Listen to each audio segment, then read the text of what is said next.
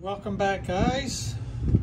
Today we're going to have another little painting session. This time I'm going to be using oils. Um, so I have an 8x10 canvas panel. These are oil paints. Now I was doing another painting just a few minutes ago, finishing up. Um, so I had some paint left, so I figured, well, let me show you guys, do a little video for you. Uh, let me tell you about the colors that I have. Um, I have Cad Yellow Medium, Yellow Ochre, uh, Alizarin Crimson, um, Cerulean Blue, Ultramarine Blue, Burnt Sienna. Now this is black, which I really don't use, um, but I've been playing around with it for another little project. But it's on the palette, I'm not going to use it, probably not. White, and then this is Viridian Green. These are odd end colors over here. This is uh, what kind of color is that? Permanent green, I think is what it is. Yeah. Permanent green and cadmium red. Um, medium. So anywho, uh, let's start. Uh, I'm gonna draw. What? This is what we're painting. Perhaps I should show you we're gonna have a little bit of fun with this. so for the darker areas of the wave, what we're gonna do, it's like a dark purplish color. We can achieve this by just going ultramarine blue, a little bit of um, crimson. Sorry, I'm getting lost in my my uh, thinking here. Actually, I am missing one color. Ooh, no good. Okay, it's okay. Actually, I needed some burnt umber, but we'll make do with what we got. Let's see what kind of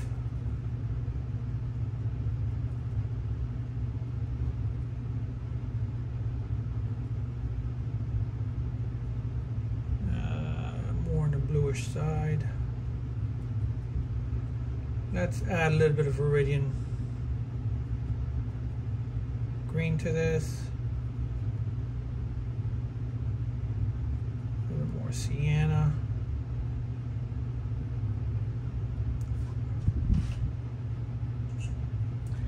We're just going to use whatever I got left here. It works. We're gonna make it work.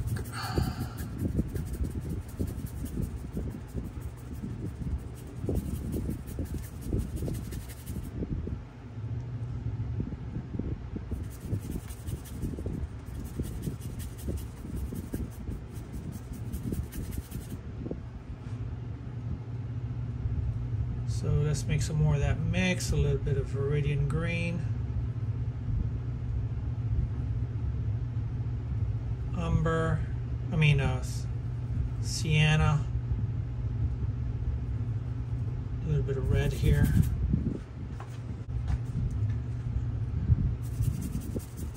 I'm thinning out these colors by using my odorless mineral spirit to, you know, to really spread this thin. Going to do two things. Well, it's going to spread it thin, one, of course. And the second thing is, is that it uh, will help with the drying times. It's going to drastically reduce the drying time. There you go. Now there's some green here, so let's go with why not? I got Viridian green right here. A little bit of this yellow.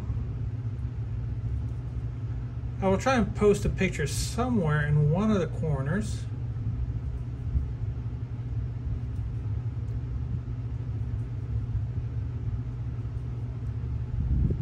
trying to make it like a dark green.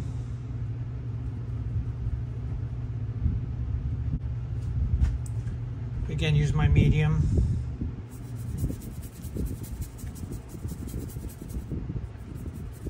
How far this goes, like this.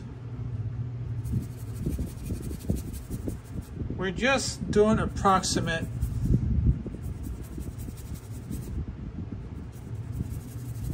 colors here.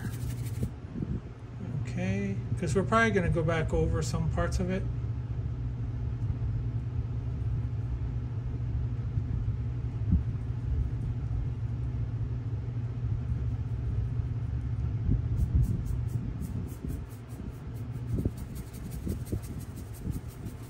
I'm using an, I'm sorry, a number six flat. Just want to let you guys know. Some dark green here. I'm putting approximate colors here and there. Now, let's make another batch of that green, a little bit of yellow, and white.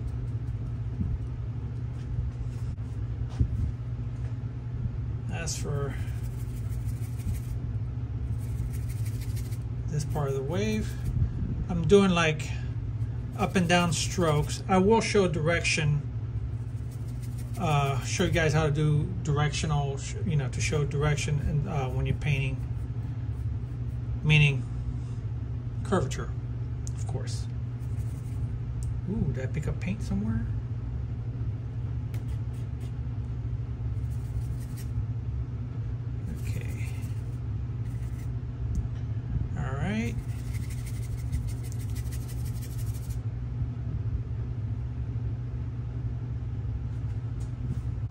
Everything is going to be a little bit dark initially, but uh, we'll work on the midtones after. So now I'm going to do the darker parts of the white foam. You see, it's not all white. It's got this impression of being white, but it's not. So we're going to make this cool gray more on the blue side.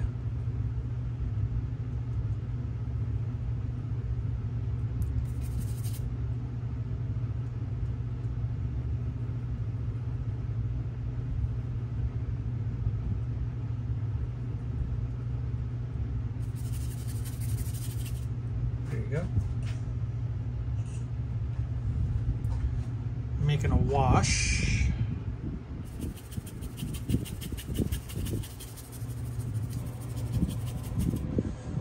And then after that, I'm going to start going in with thicker paint.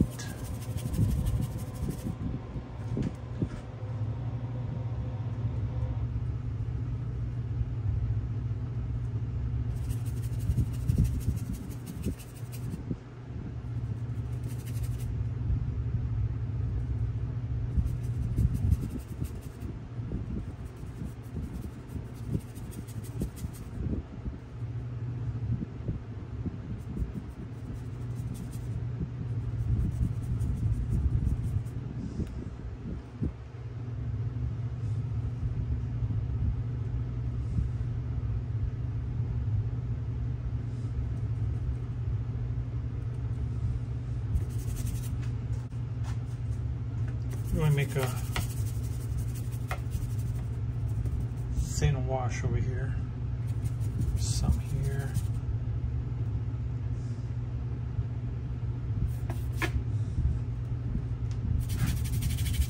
Wherever I'm seeing these approximate gray colors is where I'm laying down some of this stuff. All right. Now for the fun part. Let's start adding some white, really going thick here.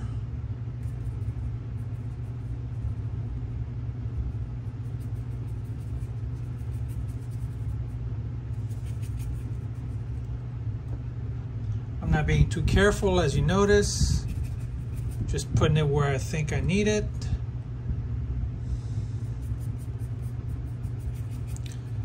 What's nice about putting down this white the way I'm doing it is I get to see uh, where my lightest lights are going to be.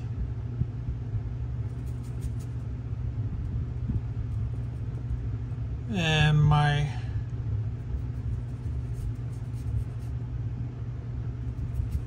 uh, where I'm going to have some half tones and where I'm going to need some darker darks to bring out this white even more.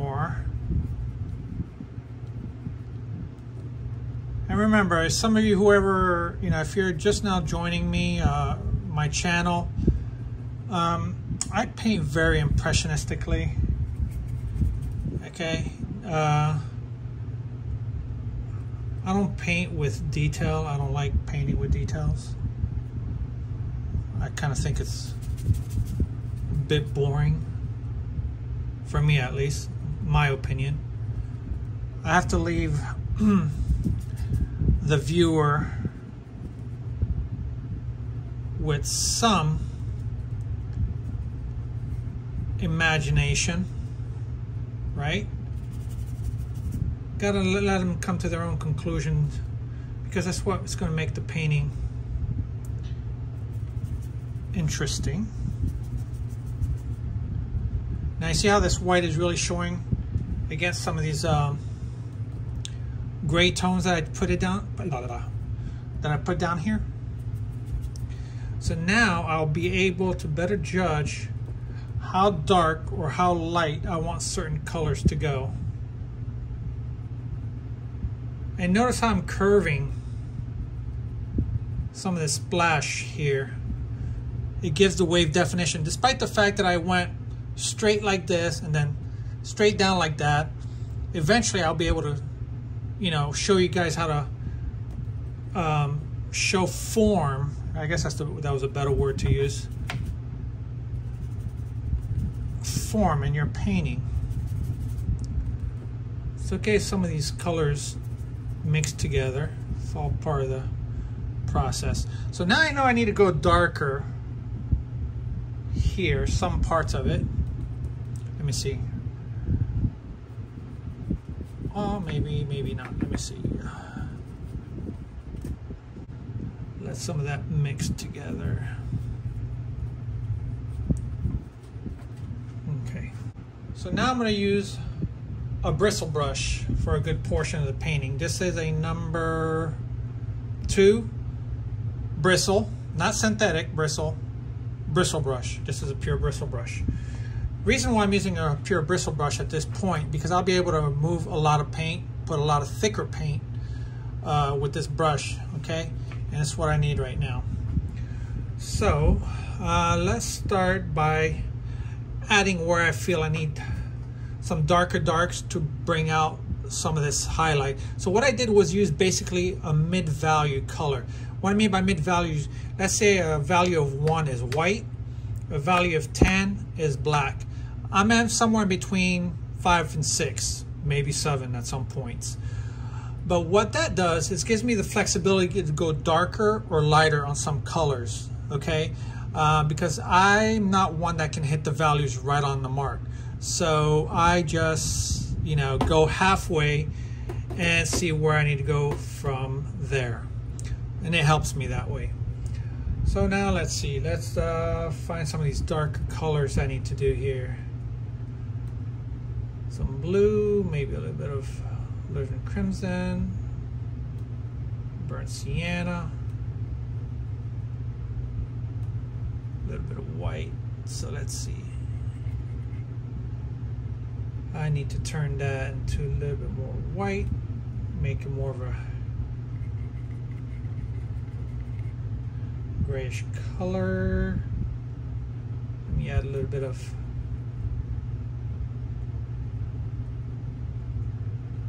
yellow ochre, red, blue, give it more of a really grayed out color. There we go.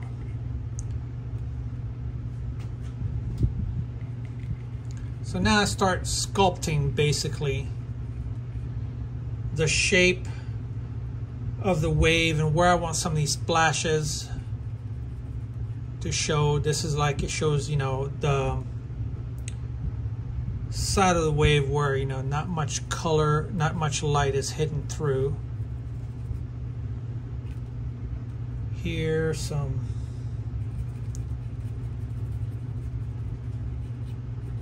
here, same here as well.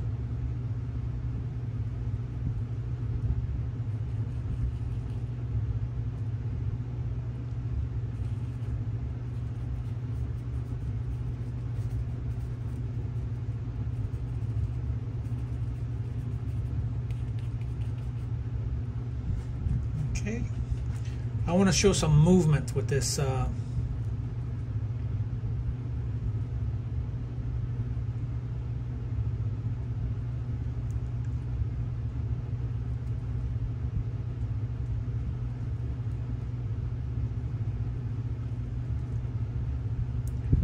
All right, I know there's some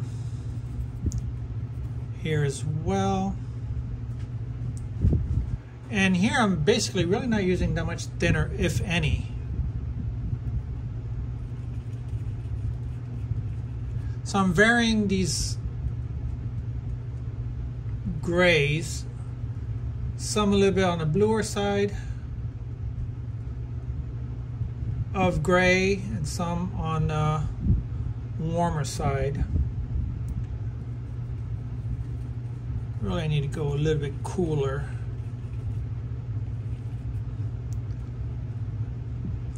Let me see.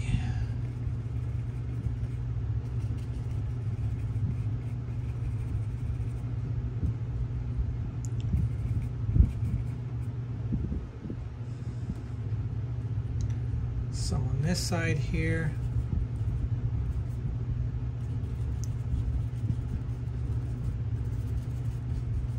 I'm putting a little bit haphazardly in some places, okay? So let me see. Let me work on more, maybe add a little bit of white, a hint, a hint of yellow, really light. Just to warm some of these colors up against all this cool color.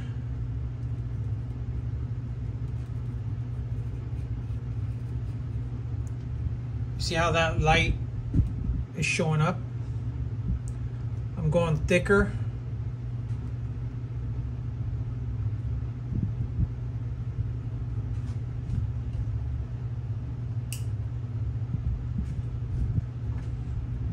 Let's see.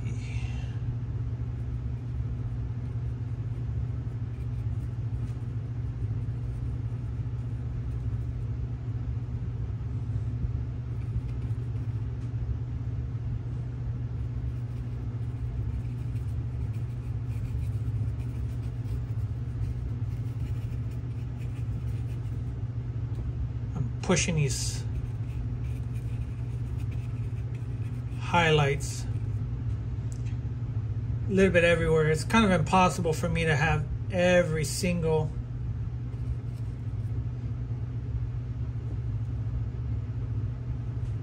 bit of highlight um, to make every little intricate um, part of this wave. It would take me a while. It can be done. I'm not saying it can't. I can do it, but for the sake of this video, I won't be able to do it. So I'm just showing you how to make a really quick impressionistic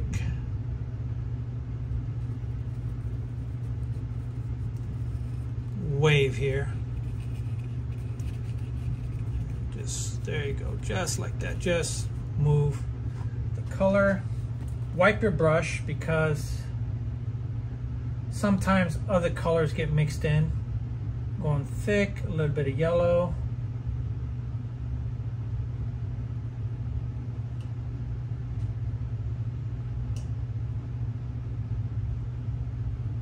I added just a little bit of medium to make my paint move a little bit more free. Okay, so let's see, there's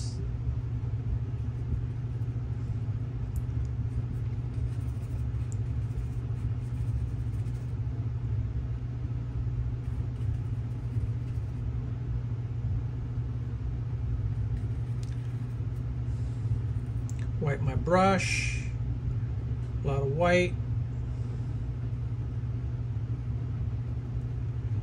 You see, I'm not making everything highlighted just some parts of the wave. Not every part of it, some parts.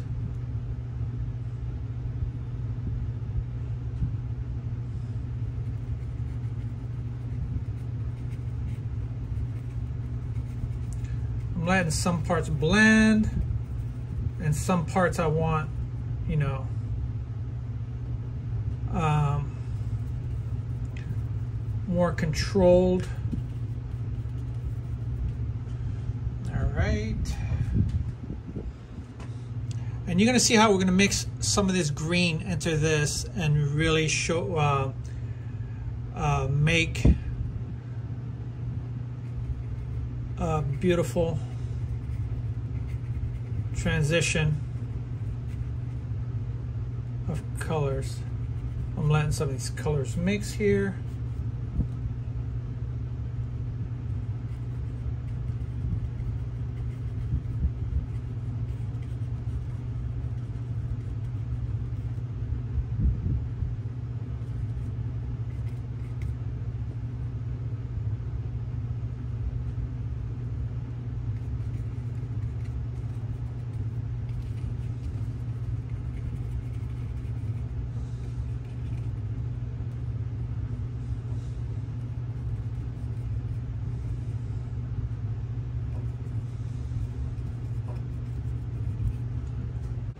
let me go and now I'm going to be pulling the colors back and forth. And what I mean by that, push some of this blue into here to kind of flatten out some parts of the water. And I'll show you what I mean by that in a minute. So now I'm using a number two round brush I'm going to mix some more of this color here. Ultramarine blue. A little bit of burnt sienna.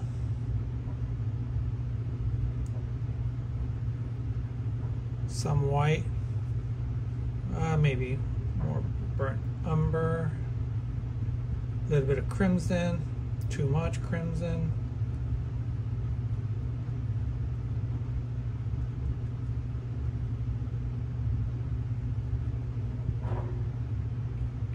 There you go.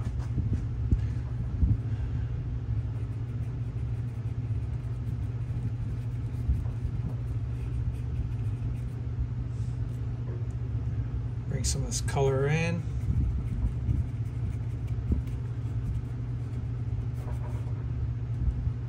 Let some of this white mix with it.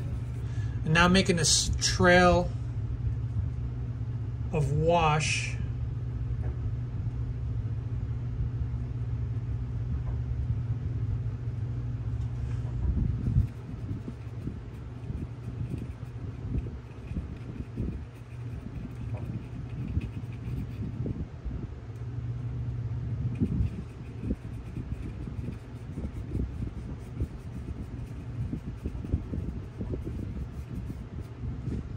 Now let's use make some more of this green here. We're going to be mixing it with some of this white in here. So I'm using Viridian Green, a little bit of yellow, a little bit too much. Let's go with some burnt sienna and ultramarine blue. Let's extend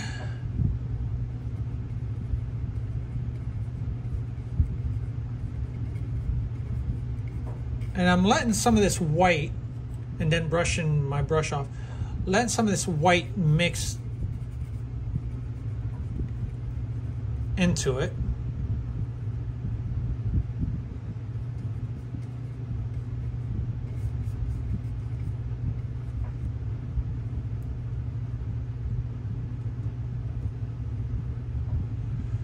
okay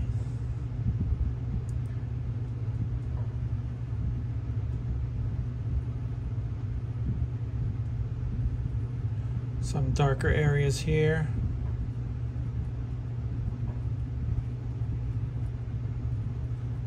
Right under some of these pockets.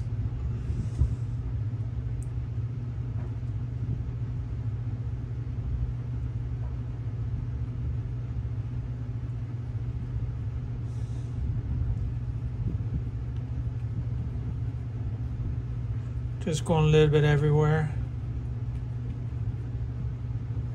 I'm defining the shape and form of this wave here. It's dark back here.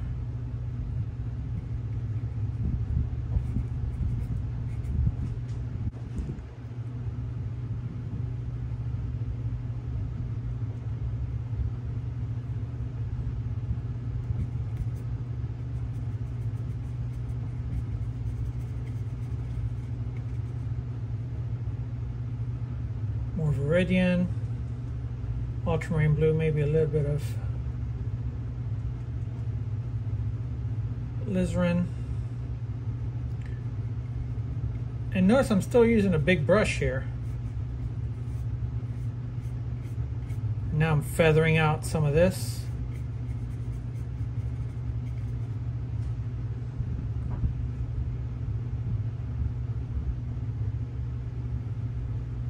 Make a little bit more of a greenish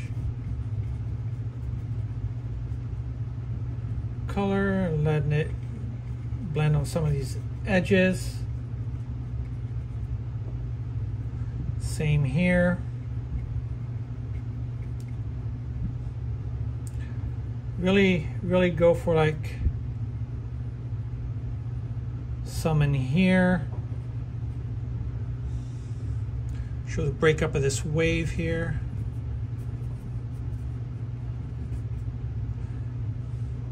Hell, even some in here. Let's show some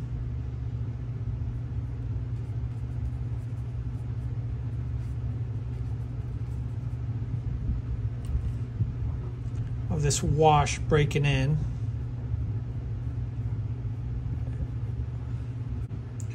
Let's go darker.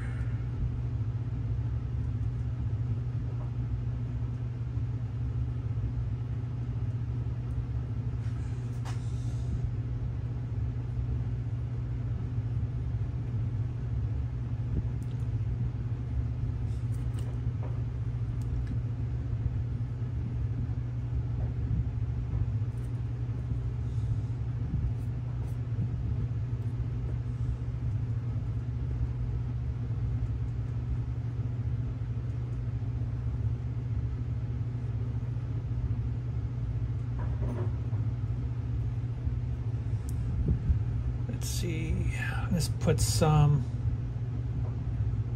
back here just peeking through. There you go. Some transition color into the background wave here.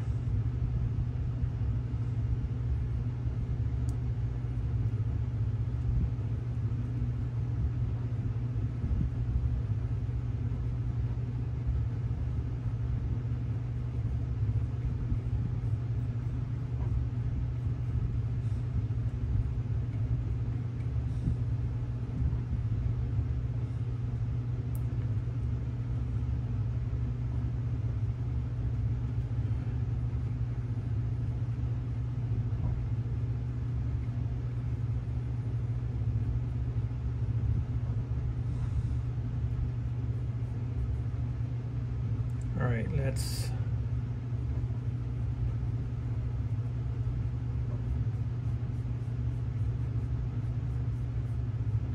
make a transition. I'm making almost following the curvature of the wave here.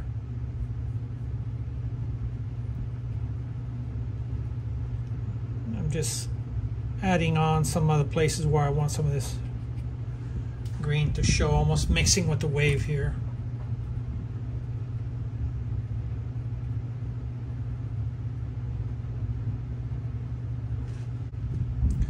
So go red and green,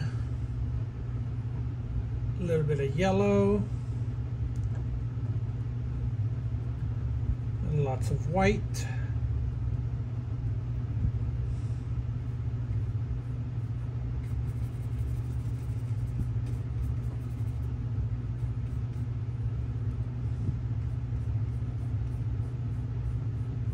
follow the curvature.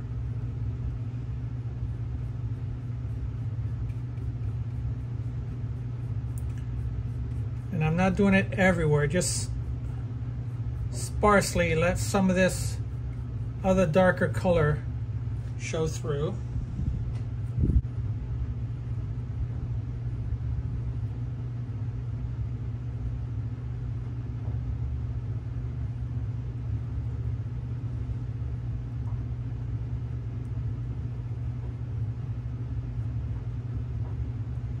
There you go. And accentuate it a little bit more. I put the weight, I put the um, veins in and I just move my brush a certain way and then I make some more defined veins by not squishing. When I do this, I'm flattening out the colors, the paint, so it's not too too sharp. And then I'll put sharper veins afterwards. There you go.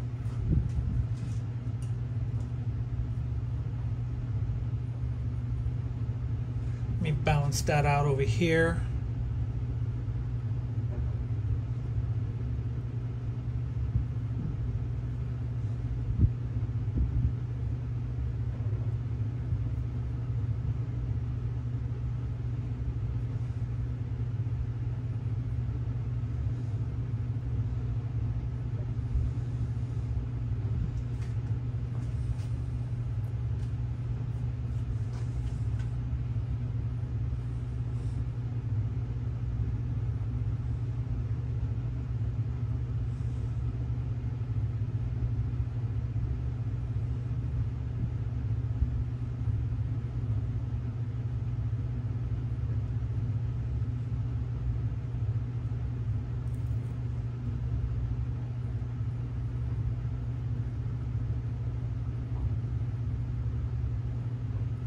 Switch up my brush. I'm going to do a number two round again, but this one's got a sharper point to it versus this one.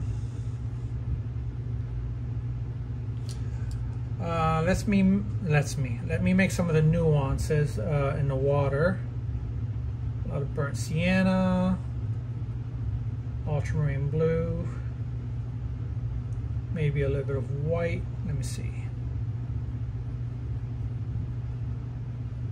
That should work.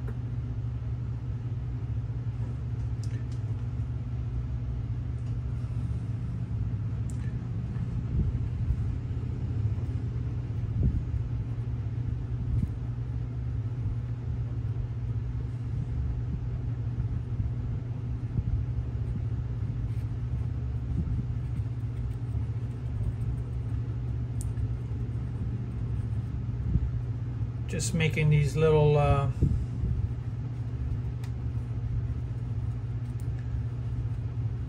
these little dark areas in the wash. Plus defining the wave a little bit more. At least the base of the wave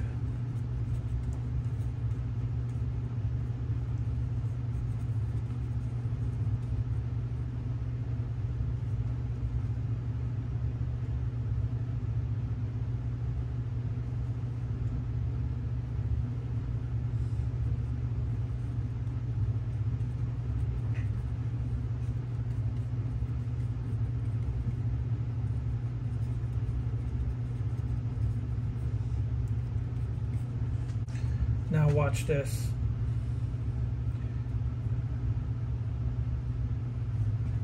Now we're just gonna go around some of them, even going over some of them. If you have like too many, just go around like this. However you see fit. I'm loading up my brush like really good. And I'm not doing everywhere, just some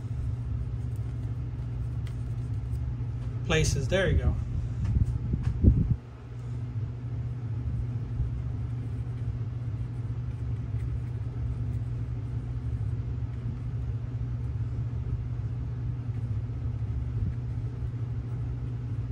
Some shadows under these waves here.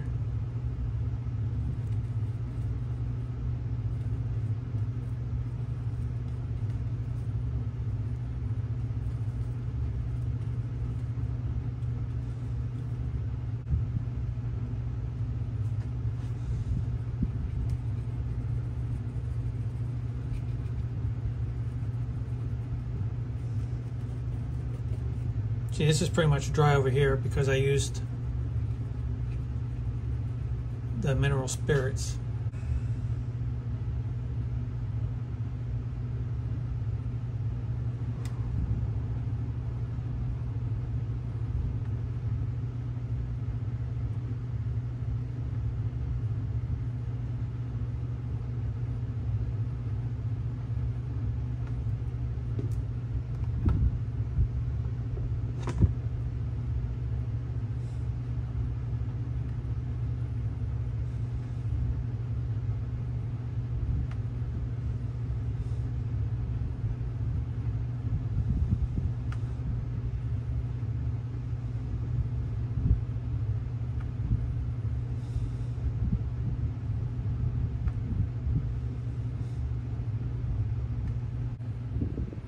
There's your wave, folks.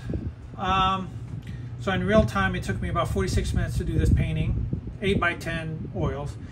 Again, I want to say thank you to all of you for all your support and watching my channel. Um, you know, share with your friends, your artist friends. Um, it really supports my channel. It helps me out, especially with the algorithm. Um, again, thank you for supporting me, and I'll see you on the next painting and bless you all. If you have any questions, leave them in the comments. I'm pretty prompt about answering all questions with about the materials or whatever you need to know that I used. Um, other than that, thank you very much, guys. Have a great evening.